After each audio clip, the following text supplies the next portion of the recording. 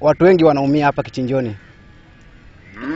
Kuna wale watu wana watoto wao wanasomesha na hii kichinjio, kuna wafanya biashara, kuna wamama, kuna maskini, wale watu wanalipa na kichinjoni, nyumba, kodi ya nyumba tunalipa, watoto tunasomesha na hii kichinjoni. Kuna watu saa hii watoto wao wajarudi shule mpaka saa hii, sababu wako na school fees, hawako na uniform za watoto, watoto bado wanakaa nyumbani. Chakula kula wenyewe saa hii ni shida, sababu watu wanaumia, watu wengi wanaumia.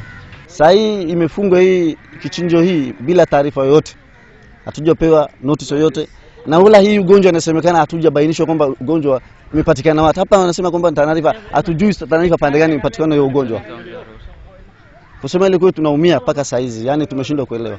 Mtoto yangu wasoma hapa saa hii, imefunguliwa shule, imefunguswa shule sababu ya fee, yuko nyumbani na kiasi ambao wategemea ni hapa na hapa amefungwa.